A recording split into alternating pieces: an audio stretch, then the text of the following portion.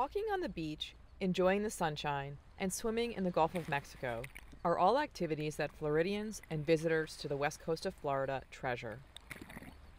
But lurking out in the surf are harmful blooms of algae known as Karenia brevis or red tide. When red tide blooms develop, they become concentrated, and the toxins from the cells cause fish kills and trigger respiratory distress in humans, marine mammals, and seabirds. Learning more about red tide and how the blooms form, grow, and travel are challenging questions that researchers at University of South Florida's College of Marine Science are tackling from multiple angles. We're trying to see if, with that, we can try to understand where it comes from and where it goes. Uh, why does it start and why does it end?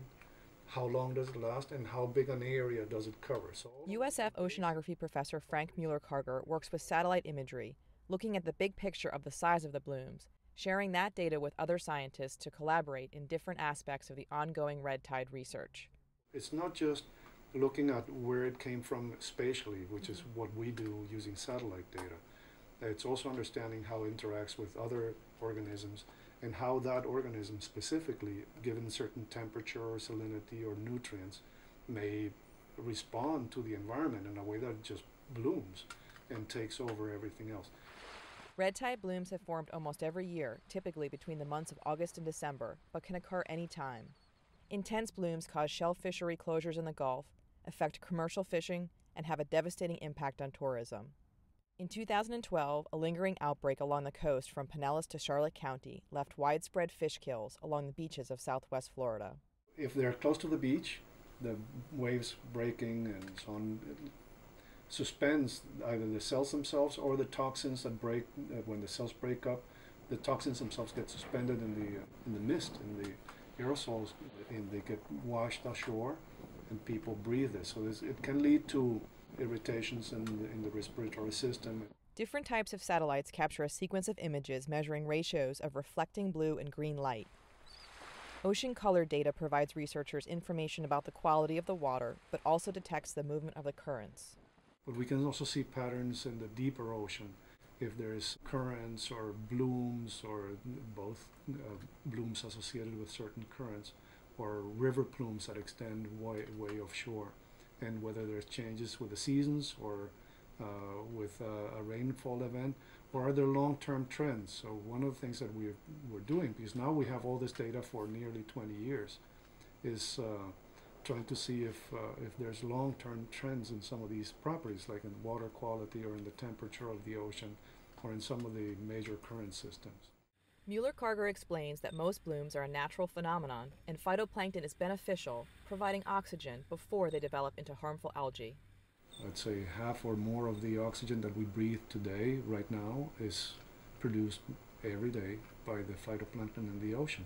So, with the satellite imagery, if you see something that is peculiar, that looks like a bloom, then you can target the effort to go there and monitor in that region. Inia Soto is studying the satellite imagery of the entire Gulf of Mexico, trying to spot the blooms to develop an early detection system. In 2011, we had a bloom that we initially observed from the satellite, and that's very important because once we see it in the satellite, that means that the bloom is already formed and it has a high concentration. Using images from NASA satellites, scientists can tell more about the development of these blooms than ever before. We saw a, a bloom form near the area of the Myakka River. We can see this, this area here was confirmed as a, as a bloom, and that remained there for a few days, but then it started slowing there. That's the area again. You can see the bloom and then a couple days later you can see as it gets close to the charlotte harbor it got uh, really large once the harmful algal bloom is detected by satellite, officials from the Florida Fish and Wildlife Research Institute and Mote Marine Laboratory collect water samples. There's a huge shift that happens in the ocean, and we don't understand that shift of critters in the water very well. Barbara Kirkpatrick has been studying the human health effects of red tide at Mote Marine Laboratory in Sarasota. Researchers at Mote Marine explore biological properties of the cells, trying to gain a better understanding of the bloom's dynamics, working closely with researchers from USF. Karenia brevis is phytoplankton. So it's kind of an interesting critter because it has characteristics of both an animal and a plant. The animal part of it is that it actually has a flagella, a tail, that allows it to swim.